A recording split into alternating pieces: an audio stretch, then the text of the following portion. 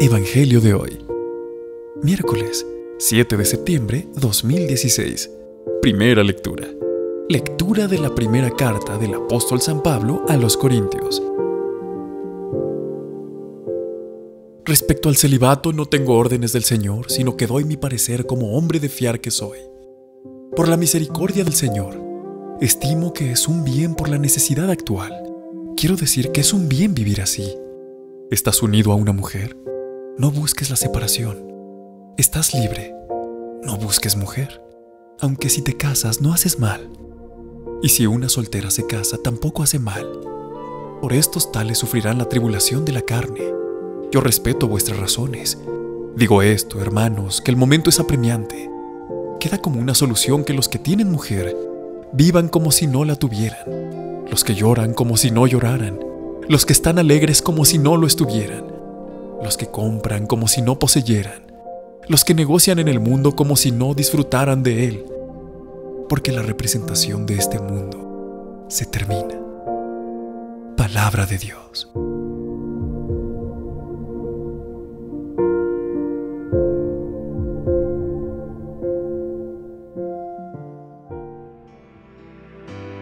Salmo responsorial.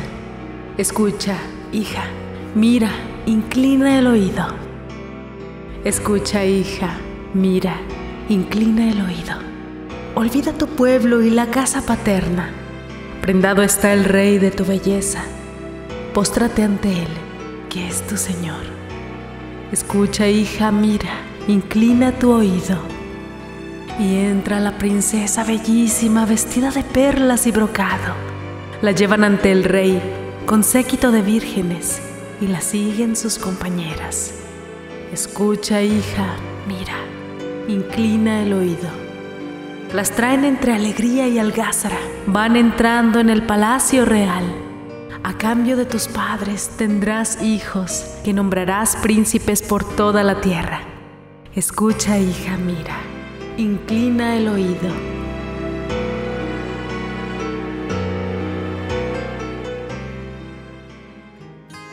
Lectura del Santo Evangelio según San Lucas. En aquel tiempo, Jesús, levantando los ojos hacia sus discípulos, les dijo, Dichosos los pobres porque vuestro es el reino de Dios. Dichosos los que ahora tenéis hambre, porque quedaréis saciados. Dichosos los que ahora lloráis, porque reiréis. Dichosos vosotros cuando os odien los hombres y os excluyan, y os insulten y os proscriban vuestro nombre como infame, por causa del Hijo del Hombre. Alegraos ese día y saltad de gozo, porque vuestra recompensa será grande en el cielo. Eso es lo que hacían vuestros padres con los profetas. Pero ay de vosotros los ricos, porque ya tenéis vuestro consuelo. Ay de vosotros los que ahora estáis saciados, porque tendréis hambre. Ay de los que ahora reís, porque haréis duelo y lloraréis. Ay si todo el mundo habla bien de vosotros. Eso es lo que hacían vuestros padres con los falsos profetas. Palabra del Señor. Gloria a ti, Señor Jesús.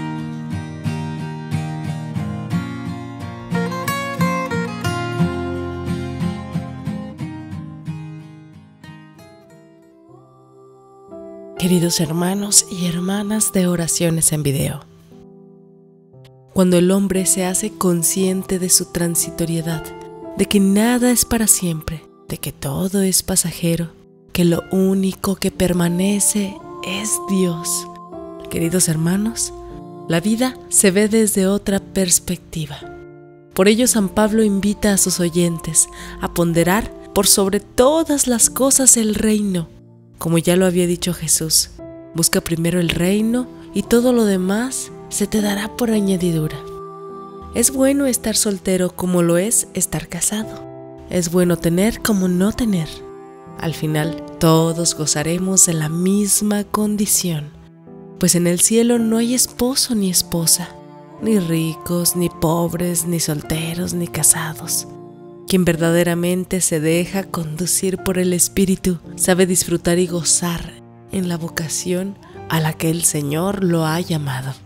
Amado Padre, deseamos pasar la vida eterna en tu presencia, alabando y bendiciendo tu nombre, pero además queremos vivir nuestro paso por este mundo disfrutando de tu amistad y de tu amor, siéndote fieles y anunciando la verdad. Hoy agradeceré a Dios todo el día por el estado de vida que estoy viviendo. Y si estoy soltero, le expresaré mi amor a Dios. Y si estoy casado, le expresaré a mi cónyuge lo agradecido que estoy por compartir mi vida con él o ella a través del amado Padre. En el Evangelio de hoy, San Lucas resume en este apartado de su Evangelio el sermón de las bienaventuranzas. Bienaventurados los pobres, y hay de vosotros los ricos. Algunos le llaman a este discurso el sermón de la planicie, pues según Lucas, Jesús bajó de la montaña y se paró en un lugar de la llanura donde hizo su discurso. Es importante darnos cuenta de que los criterios de Jesús son diametralmente opuestos a lo que ordinariamente tiene el mundo.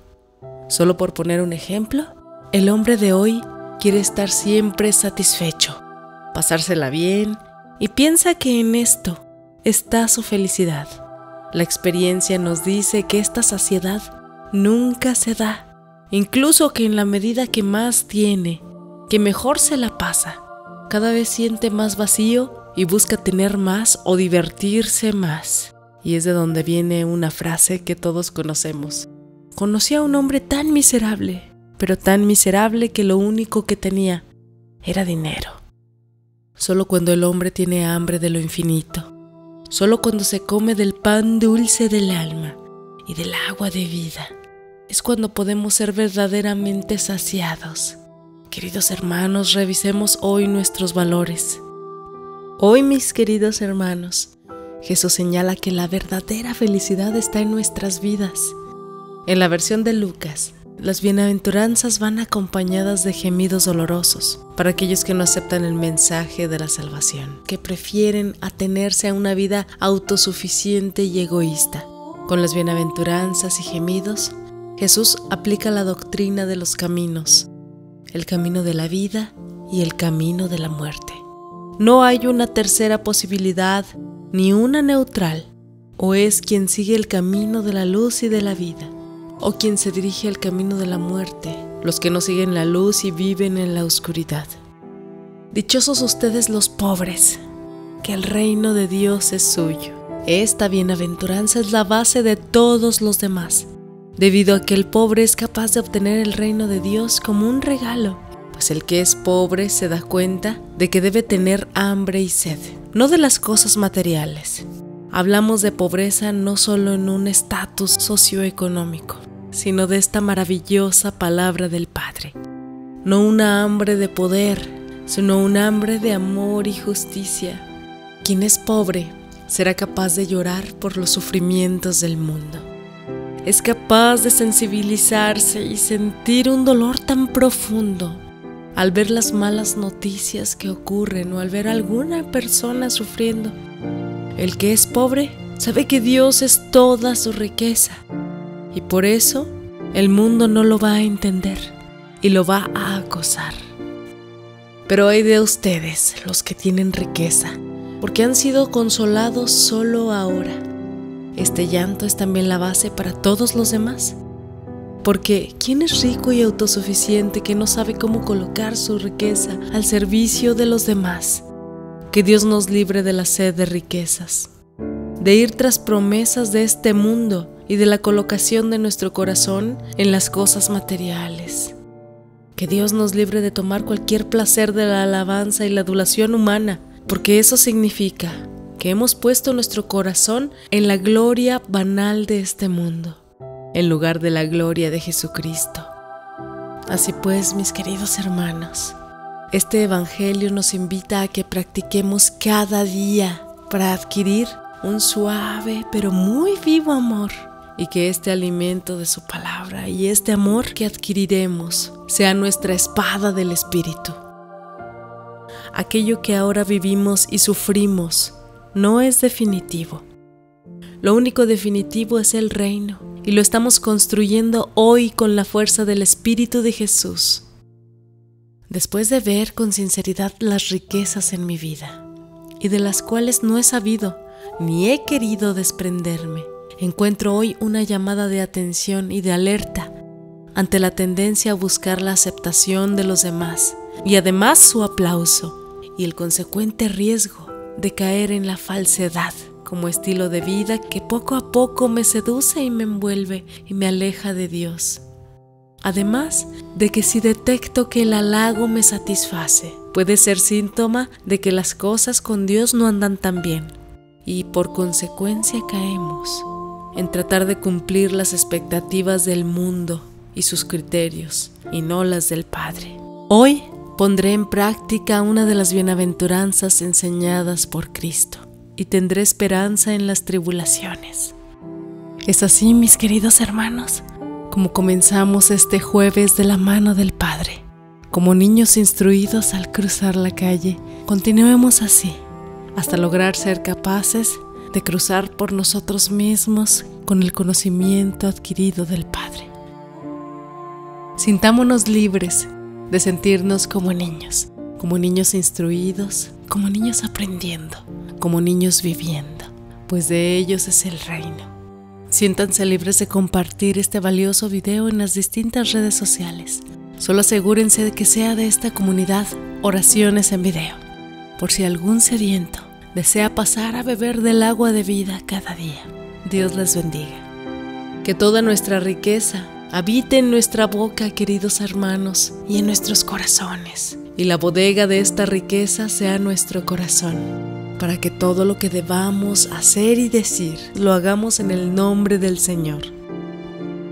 Padre Santo, te damos gracias, Padre, por habernos permitido llegar con vida el día de hoy y hasta este momento. Te damos gracias por el pan de cada día. Te pedimos, Padre, que con este Evangelio y el de todos los días nos permitas renacer como personas, como seres incorruptibles Ayuda a todas las personas del mundo que en este momento elevan sus peticiones personales hacia ti. Oremos también para que nuestras súplicas lleguen a Él, para que su bendición cubra completamente nuestras vidas. Él nos ha prometido que si guardamos sus mandamientos, nos bendecirá y nos protegerá siempre. Amén. En este canal, Oraciones en Video, nos alegra llevarte el Evangelio cada día. Nos esforzamos para llevarte a ti audio y video de calidad pues la palabra de Dios lo amerita. La enseñanza es el llamamiento más importante, pues Evangelio quiere decir buenas noticias. El Señor nos manda a enseñarnos los unos a los otros. Queremos seguir contando contigo. Te invitamos a suscribirte a nuestro canal y a compartir este video para que la palabra y las oraciones de Dios sigan llegando a muchos más hogares.